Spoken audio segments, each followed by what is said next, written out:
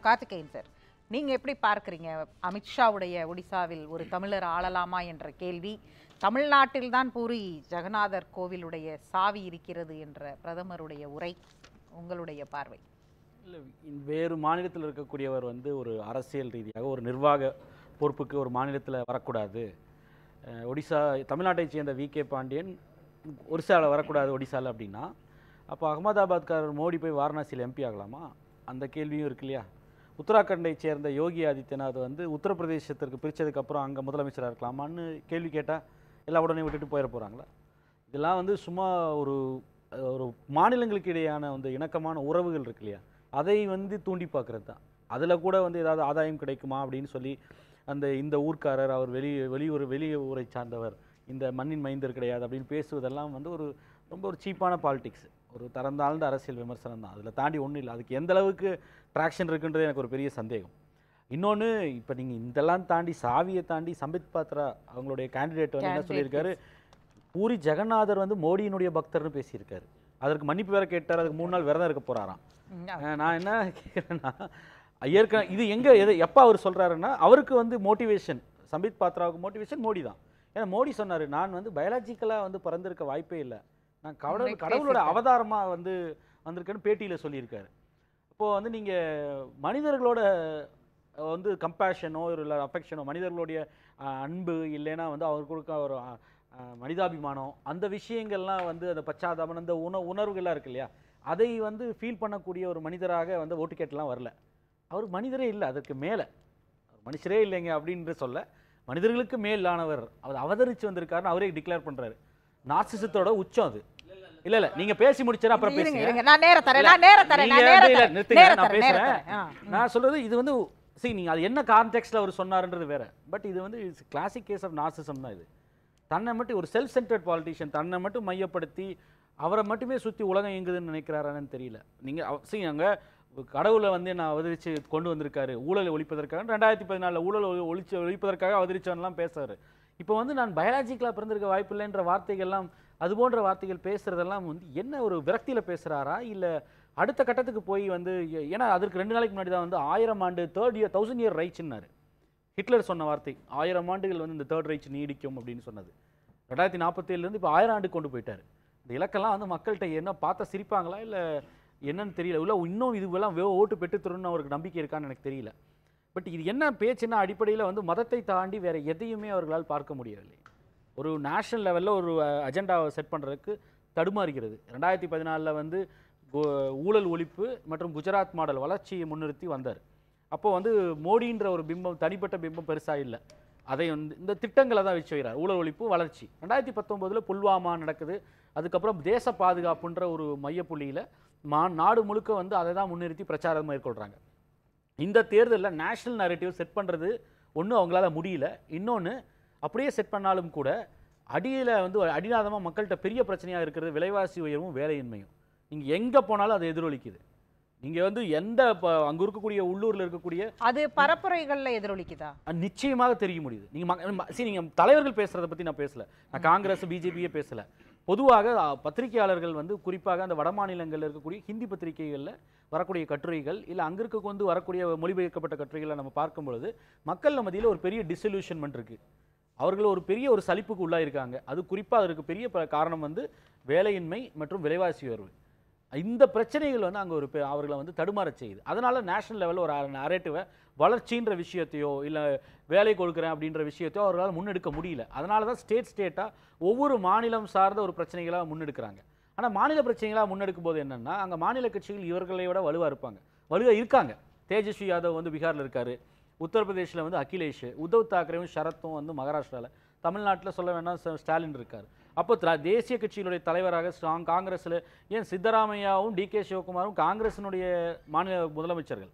ஆனால் மாநிலத்தினுடைய வறட்சி நிவாரண நிதிக்கு உச்சநீதிமன்றம் போய் வாதாடி தான் வாங்கிட்டு வர வேண்டியிருக்குன்னு கர்நாடக மொழி புறக்கணிப்புன்ற அந்த மாநிலம் சார்ந்த உரிமை பிரச்சனைகளை வலுவாக எழுப்பும்போது அந்த நரேட்டிவ்க்கு வந்து ஒரு ஐடியல் எதிர்வினை இருக்கு இல்லையா? ஒரு ஆன்டிடோட்டாக இல்லை வந்து ஒரு ஆல்டர்னேட்டிவ் அந்த பொலிட்டிக்கல் நரேட்டிவ்க்கு ஆல்டர்னேட்டிவ்க்கு இவங்க வலுவை ஒன்றும் கொடுக்க முடியாமல் திணறாங்க. அந்த அந்த திணறலில் தான் வந்து என்ன பார்க்குறோன்னா இன்கன்சிஸ்டன்சி பார்க்குறோம் இப்போ முதல் பிரதமர் வந்து முதல்ல ஒரு நாள் பேசுகிறார் மன்ஸ்வாரால போய் ஊடலுக்காரர்கள் அதிகமாக குழந்தை பெற்றுக்கிறாங்கன்னு பேசுகிறது அலிகாரில் அடுத்த நாள் வந்து உத்தரப்பிரதேசத்தில் நான் வந்து சிறுபான்மையினரோடு சகோதரர்களாக வளர்ந்தேன்றது.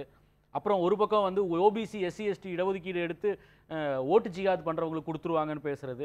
அதற்கப்புறம் இது மாதிரி பேசினா நான் வந்து பொது வாழ்க்கையில் இருக்கிறக்கே தகுதி இல்லாதவன் பேசுறது. அந்த இன்கன்சன்சி இருக்குல்ல அவருக்கே என்ன பேசுறதுன்னு ஒரு குழப்ப நிலையில் இருக்கு. ஆனால் இந்த மொத்த பிரச்சாரமே வந்து பாஜக எப்படி கட்டமைக்குதுன்னா நீங்க ஒரு லாங்கா ஒரு இன்டர்நேஷனல் ரிவ்யூ எல்லாம் பாக்குற இடத்துல இருந்து சொல்லுங்க. அதாவது வந்து பிரதமர் குறித்து வைக்கும்போது பெஸ்ட் ஒரேட்டர் அவருடைய ஸ்பீச் இதுதான் இவ்வளோ நாள் ரொம்ப ஒரு அவரோட ஸ்டேட்மேன்ஷிப்பாவே அதை தான் நிறைய இடத்துல ஸ்டேட்மேன்ஷிப்பாக சொல்லப்பட்டதுமே. அந்த கரிஷ்மேட்டிக்ல இருந்து இந்த பரப்புரைகள் தொடர்ந்து வந்து அவர்கிட்ட கன்சிஸ்டன்சி இல்ல அவர் ஒரு நாளைக்கு ஒன்று ஒன்றா பேசுறாரு அப்படிங்கிறது வந்து பார்க்கும் பொழுது உங்களுக்கு என்ன டிஃபரன்ஸ் தெரியுது? அது எதனால எதன் அடிப்படையில இருந்து இது வருது அப்படின்னு இல்ல அதை தான் சொல்லிட்டு இருந்தேன். மோடி அவர்களோட யூஎஸ்பியே வந்து பாத்தீங்கன்னா அவர் நல்ல ஒரு சிறந்த பேச்சாளர் அப்படின்ற அவர் டெலிபிராம்டர் வச்சு பேசுறாரோ எது வச்சு பேசுறாரோ அது அவருக்கு சப்போர்ட் பண்ணுது. எழுதி வச்சு பார்க்கலாம் இல்ல டெலிபிராம்டர் பயன்படுத்தலாம். ஆனா நல்லா பேசக்கூடியவர் அப்படின்ற ஒரு விஷயம் அதாவது தன்னுடைய கருத்துக்களை வந்து வலிமையாக முன் எடுத்து வைக்கக்கூடியவர். அதுவும் குறிப்பாக பிரச்சார களத்துல அவர் பேச்சுக்கள் வந்து சிறப்பா இருக்குன்றது தான் இருந்தது. இன்று அது என்னன்னா நீங்க நான் அதுக்கு தான் வந்து அந்த உதாரணம் சொன்னேன். ரெண்டாயிரத்தி பதினாலு பத்தொம்போதுல இஷ்யூக்களை ஒரு நேஷனல் லெவலில் ஒரு தீம் இருந்தது. இன்றைக்கி அது இல்லை. நீங்கள் ரெண்டாயிரத்தி ப இருபதுக்கு அப்புறமே தொடர்ந்து பாஜகன்றதே இல்லை. இன்றைக்கி என்னென்னா மோடிக்கு கேரண்டி மோடிக்கு பரிவார். மோடிக்கு வாக்களியுங்கள். மோடி இருக்கார் அங்கே யார்? ராகுல் காந்தியா இல்லை வேறு யாருன்னு கேள்வி இருக்கு இல்லையா? அப்போது வாக்குகளே பாஜக தாமரை அதெல்லாம் இல்லை. மோடிக்காகன்ற ஒரு தனிநபரை மட்டுமே மையப்படுத்தி இருக்குது அந்த ஸ்டார் கேம்பெயின் வேல்யூன்றது வந்து ஒரு ஒருத்தரை நம்பி மட்டும்தான் பாஜகன்ற ஒரு கட்சி அது முந்நூறு நானூறு முந்நூற்றி எழுபதோ நானூறு எல்லாமே அந்த ஒற்றை நபரை நோக்கி இருக்குது அவரை நம்பி மட்டுமே இருக்கு. அவர் வந்து பத்தாண்டுகளில் ஒரு பிம்ப சிதைவை சந்திக்கிறாரு. அவர் ஊழல் ஒழிப்புக்காகவே அவதரிச்சன் ரெண்டாயிரத்தி பதினாலில் வந்தவர். எலக்டோரல் பாண்டு சிஏஜிக்கு அப்புறம் இன்னைக்கு ஊழலுக்கு பதில் சொல்ல வேண்டிய நிலையில் அவர் இருக்கார். அவருக்கு எதிரான வந்து இடி எக்ஸ்ட்ராஷன் டைரக்டரேட்ன்ற விமர்சனத்தை எதிர்கொண்டுட்டு இருக்காரு அவர். அதனால தான் ஊழல் ஒழிப்பை பத்தி பெரிய அளவுக்கு பத்தாண்டுகள்ல பேசல. உங்க ரிப்போர்ட் கார்டு அடிப்படையில ஊழல் ஒழிப்பு அப்படிங்கிறது நடந்திருக்கா நடந்தில்லை? நிச்சயமா இட்ஸ் அ மிசரபிள் ஃபெயிலியர் ஏன்னா நீங்க யாரெல்லாம் ஊழல்காரர்கள்னு முன்னாடி வந்து விமர்சனம் பண்ணீங்களோ அதே அசோக் சவான் நாராயண் ராணே ஹேமந்த் பிஸ்வா சர்மா சுவேந்து அதிகாரி முகுல் ராய் அத்தனை பேரையும் ஜகன் புஜ்பால் பிரபுல் பட்டேல் பேரை சொன்னோம்னா இன்னைக்கு நாள் ஃபுல்லும் பேசலாம். அத்தனை பேரையும் வந்து யாரெல்லாம் ஊழல்காரர்கள் எதிர்க்கட்சியில குறிப்பா காங்கிரஸ்லன்னு சொன்னீங்களோ எல்லாத்தையும் எடுத்து வந்து உங்க கட்சியில் சேர்த்து வச்சிருக்கீங்க. ஆனால் அவர்கள் மீது இருக்க வழக்கு ஒன்று நீர்த்து போகுது இல்லைன்னா கிடப்பில் போட்டுடுறாங்க. இப்போ இந்த இடத்துல இருந்துட்டு உங்கள் மேலே வந்து இடியையும் சிபிஐயும் பயன்படுத்தி எலக்டோரல் பாண்டில் பலாயிரம் கோடி வந்து மிரட்டி வாங்கியிருக்கு எல்லா கட்சியும் வாங்கியிருக்கு மாற்று கருத்து இல்லை. ஆனால் மத்திய விசாரணை அமைப்புகள் சென்ட்ரல் இன்வெஸ்டிகேட்டிங் ஏஜென்சிஸை வந்து அவதூறாக தவறாக பயன்படுத்தி மிரட்டி வாங்கியிருக்கீங்கன்னு குற்றச்சாட்டுக்கு உங்க கட்சி ஆளாயிருக்கு. அது தொடர்ந்து தொடர்ந்து அமித்ஷா என்ன சொல்கிறார்? இதுவரைக்கும் வந்து காங்கிரஸ் கட்சியுடைய ஊழல்கள் எல்லாம் பட்டியலிடுறார். பட்டியலிட்டு இருபத்தைந்து காசு கூட ஊழல் செய்யாதவர் நம்முடைய பிரதமர் தானே குறிப்பிடுகிறார். நான் கேட்குற ஒரே கேள்வி இந்த பத்து வருஷத்துல எத்தனை கன்விக்ஷன் காங்கிரஸ் இன்னைக்கும் பேசுறாரு. அவங்கெல்லாம் சிறைக்கு போவாங்கலாம் பேசுறாருல. பத்து வருஷம் என்ன கன்விக்ஷன் வந்திருக்கு? Can name one convicted Congress or opposition leader ஒருவர் கன்விக்ட் ஆகி சிறைக்கு போயிருக்காங்க. இந்த பத்து வருஷத்தில் மோடி அரசு அவருடைய ஒன்றிய விசாரணை அமைப்பு சிபிஐயோ இடியோ கன்விக்ஷன் வாங்கியிருக்குன்னு சொல்ல சொல்லுங்கள் ஒரு வழக்கு கிடையாது.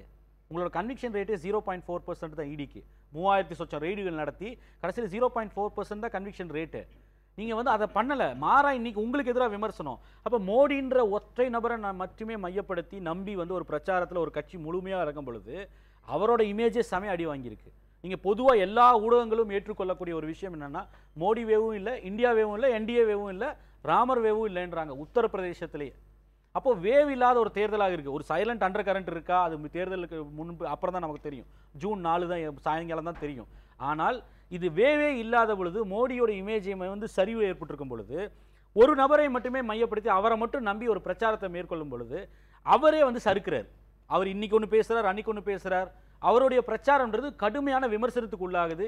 இது எங்கே வந்து நிற்கிதுன்னா ஜேபி நட்டா அவர்களுடைய ஆர்எஸ்எஸ் வந்து நாங்கள் அவுட் குரோ பண்ணிட்டோம். இனி எங்களுக்கு வந்து ஆர்எஸ்எஸ் களத்தில் அவங்க தயவு இல்லாமல் எங்களால் வெற்றி பெறக்கூடிய முடியும்னு வார்த்தைகளை பேசி அங்கேயே வந்து சுடுபட்டுக்கிறாங்க. ஏன்னால் ஏற்கனவே உத்தரப்பிரதேசத்தில் ஆறு ஜனவரி இருபத்தி ரெண்டு ராமர் கோயில் குடமுழுக்கு வந்த அளவிற்கு பிஜேபிக்கு ஆதரவாக குற்று முற்றிலும் வந்து ஆர்எஸ்எஸ் வந்து களத்தில் தேர்தல் பணியில் இறங்கலைன்றாங்க. ஏற்கனவே அவர்களுக்குள்ள கருத்து வேறுபாடு இருக்கு. Modi is out ground principle or ideology இல்லை கட்சியை மீறி வளர்ந்து விட்டார் என்ற விமர்சனம் இருக்கக்கூடிய சூழல்ல இந்த வார்த்தைகளை பேசும்போது அது மேலும் வந்து ஆர்எஸ்எஸ் சோர்வடை இல்ல செய்யும். நேற்றைக்கு அது வந்தது வந்த ஸ்டேட்மெண்ட் இந்த நிலையில. தான் வந்து அதை மறு மறுக்கிறது மறுங்க அவர் நேத்து வந்த ஸ்டேட்மெண்ட் ஜேபி அது நட்டா முடிச்சிரட்டும் நான் உங்களுக்கு தரேன் வந்து செய்தியா பதிவாகி நேத்து நேத்துக்கு நட்டா நட்டா வந்திருக்கு. பேசியிருக்காரு வந்து உத்தரப்பிரதேசல. அப்ப இந்த இடத்துல வந்து நீங்க என்னன்னா அந்த அந்த குழப்பனை இருக்குல்ல. உங்களுடைய ஹார்ட் கோர் ஹிந்துத்துவா பேஸே வந்து கடவுளுக்கு மீறி ஒருவரை வந்து கடவுளை வந்து மோடி பக்தர் என்று பேசுவதோ இல்ல ஆர்எஸ்எஸ் ஐ மிஞ்சி நாங்கள் வளர்ந்து விட்டோம் எங்களுக்கு அவர்களுடைய தயவு பெரிய அளவுக்கு தேவையில்லைன்னு பேசுவதோ இல்ல இல்ல இங்க வருங்க எல்லாத்தையும் தவறா நீங்களுக்கு வாய்க்கு வந்தா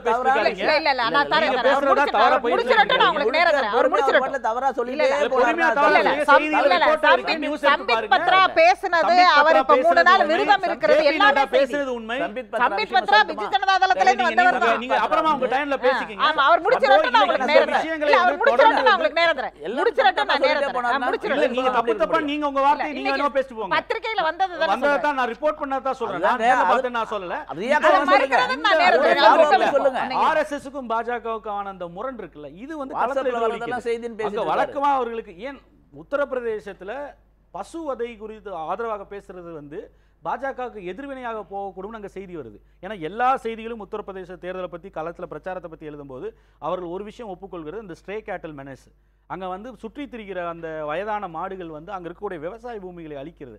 அதற்கு தீர்வாக தடை செய்யப்பட்டது அதற்கு வந்து கம்பி வேலிகள் போடக்கூடாதுன்றதுனால. போடக்கூடாது என்று சட்டம் கொண்டு வருகிறார்.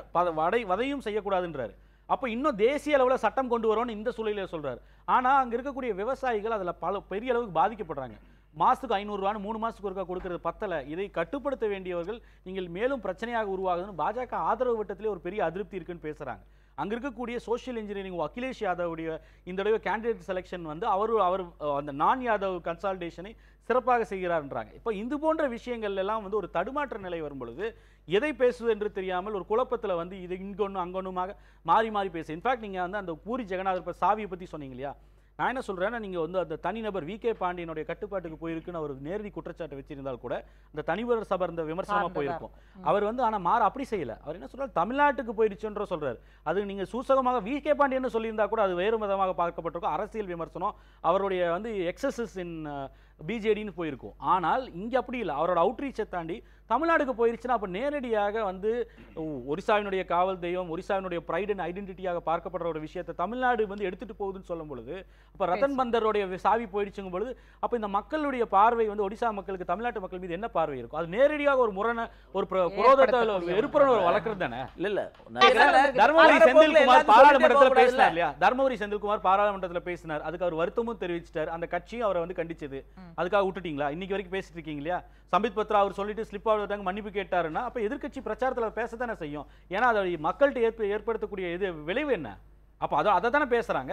நீங்க இப்ப வந்து சொல்லல சொல்லல அவர் உடனே ஸ்லிப் ஆஃப் த டங்குன்ட்டாருன்னா நீங்க இன்னைக்கு வரைக்கும் பேசுறீங்க இல்லையா?